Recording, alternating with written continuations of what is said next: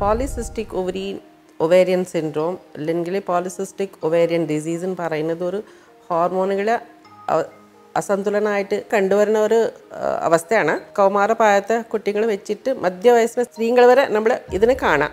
ഇതിൽ പ്രധാനമായിട്ട് ഹോർമോൺസിന്റെ പ്രോബ്ലം ഉണ്ടാകുന്നത്. ഓവറീസ് ഇല്ലെങ്കിൽ അണ്ടാശയം നമ്മൾ പറയുന്നില്ലേ? അതിൽ ക്രമപ്രകാരം എല്ലാ മാസം അണ്ടോത്പാദനം നട നടക്കാതിരിക്കുന്നത് ഇതിന്റെ പ്രോബ്ലമാണ് പോളിസിസ്റ്റിക് ഓവേരിയൻ ഡിസീസിലെ സിൻഡ്രോം ഉള്ളവർക്ക് ഈ ആർത്തവക്രമം ശരിയാവുന്നില്ല. അത് എപ്പോഴും ലേറ്റായിട്ടാണ് വരാറ്.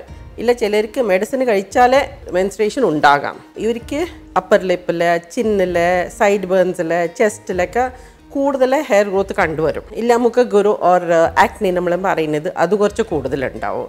കഴുത്തിലൊക്കെ കറുത്ത ഭാഗം കാണും. വിവാഹമൊക്കെ കഴിയുമ്പോൾ ടു ഗെറ്റ് പ്രഗ്നന്റ് താമസം ഉണ്ടാവും. ഇല്ലെങ്കിൽ ട്രീറ്റ്മെന്റിന്റെ ആവശ്യം വരും. ഡോക്ടറെ അടുത്ത് വരുമ്പോഴേ അവർ പറയുന്ന കംപ്ലയിന്റ്സ് കേട്ടിട്ട് നമുക്ക് ഒരു യു ഗെറ്റ് എൻ ഐഡിയ പിന്നെ നമ്മൾ ചില ബ്ലഡ് ടെസ്റ്റ് ഒക്കെ നടത്തും. മെയിൻലി ഇപ്പോൾ നമ്മൾ നോക്കുന്നത് അൾട്രാസൗണ്ട് അൾട്രാസൗണ്ട് ചെയ്ത് നോക്കുമ്പോൾ ഈ അണ്ടാശയ ഓർ ഓവറീസിലെ ചെറിയ ചെറിയ സിസ്റ്റുകളായിട്ട് കാണും. വളർച്ച ആവാത്ത എഗ്സ് പകുതി വളർന്നിട്ട് പിന്നെ അണ്ടവിസർജന മീനിങ് ഓവുലേഷൻ നടക്കാത്ത ഒരു പരിസ്ഥിതിയാണ് ഇത് വെയിറ്റ് കൂടുതലുണ്ടെങ്കിൽ ഫസ്റ്റ് വെയിറ്റ് കുറയ്ക്കണം. അപ്പോൾ ചികിത്സയ്ക്ക് നല്ല ഫലപ്രദമായിരിക്കും. Younger age group particularly periods ശരിയാക്കാൻ വേണ്ടിയിട്ട് പിന്നെ ഹെയർ ഗ്രോത്ത് കുറയ്ക്കാൻ വേണ്ടിയിട്ട് ആക്നെ കുറയ്ക്കാൻ വേണ്ടിയിട്ട് നമ്മൾ കൊടുക്കേണ്ടത് ഹോർമോൺസിന്റെ ട്രീറ്റ്മെന്റാണ് പ്രഗ്നൻസിക്ക് വേണ്ടിയിട്ട് ട്രൈ ചെയ്യുന്ന സ്ത്രീകളുണ്ട്. അവർക്ക് അണ്ടോത്പാദനം കറക്റ്റായിട്ട് ക്രമപ്രകാരം എടുക്കുന്നില്ല. അപ്പോൾ അതിന് വേണ്ടിയിട്ട് വേറെ മെഡിസിൻസ് ഉണ്ട്. നമ്മൾ ഒന്ന് മാസം രണ്ട് മാസത്തിൽ we should not expect results നല്ല ക്ഷമ വേണോ ഇതിന്? ഇങ്ങനത്തെ ട്രീറ്റ്മെന്റ് നടത്താൻ. ഇതും നടന്നില്ലെങ്കിൽ പിന്നെ ഒരു ശസ്ത്രക്രിയ ഉണ്ട് ഇത് ലാപ്രോസ്കോപ്പിക് സർജറി ഈ ഓവറീസിലെ ചെറിയ ചെറിയ സിസ്റ്റ് ഞാൻ പറഞ്ഞില്ലേ?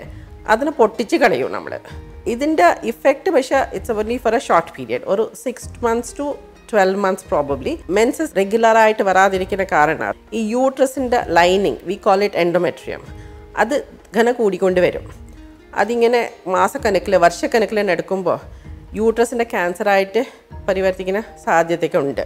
പിന്നെ ഈ സ്ത്രീകൾ പ്രഗ്നന്റ് ആയി കഴിഞ്ഞിട്ട് അവർക്ക് അബോർഷൻസിന്റെ റിസ്ക് കുറച്ച് കൂടുതൽ പ്രഗ്നൻസിയിൽ ഡയബറ്റീസ് വരുന്ന കുറച്ച് റിസ്ക് കൂടുതലുണ്ട്. ബ്ലഡ് പ്രഷർ കൂടും. അമ്മയ്ക്ക് ഷുഗർ ഉള്ളപ്പോൾ കുട്ടികൾക്ക് കുറച്ച് റിസ്ക് കൂടുതലുണ്ടാവും. ഇത് സിമ്പിൾ ഗൈനക് പ്രോബ്ലം മാത്രമല്ല it has other medical issues like blood pressure diabetes heart attack stroke ഇതെല്ലാം വരുന്ന സാധ്യത ഉള്ളതുകൊണ്ട് we have to adopt a healthy lifestyle